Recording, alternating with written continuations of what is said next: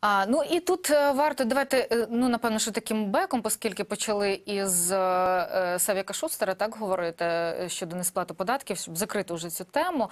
А, кримінальна справа закрита через відсутність складу злочину. Тобто а, таке, ну наче все ж таки виглядало тиском так з боку влади, тоді е, тодішньої е, Порошенківської. Тут е, сьогодні ми про що можемо говорити? Черговий дзвіночок. Так, давайте розкрутимо назад ситуацію і згадаємо, що це е, реакція журналістки UA е, першого. е, Обох журналістів, так і ведучих е, цього шоу, було на е, все ж таки допис Лещенка про те, що мовляв е, односторонність у цьому шоу, і тому не дивно, що слуги народу туди не ходять. Ну і там пояснили, виходить ситуацію, що ну почекайте, ми запрошували, ви відмовилися, ще й ставили якісь такі умови.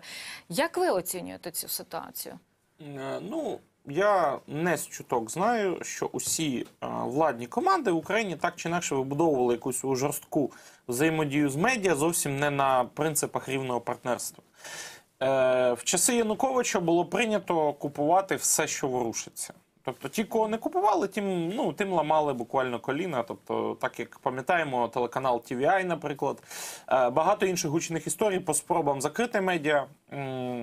Пізніше почали якось уже більш демократично, але все-таки застосуванням ось цих правоохоронних правових інструментів е, тиснути. І на мою думку, зараз точно банково застосовує стоп-листи. Наприклад, вони відмовляються від ефірів, наприклад, якщо там буде брати участь Разумкова або щось таке подібне.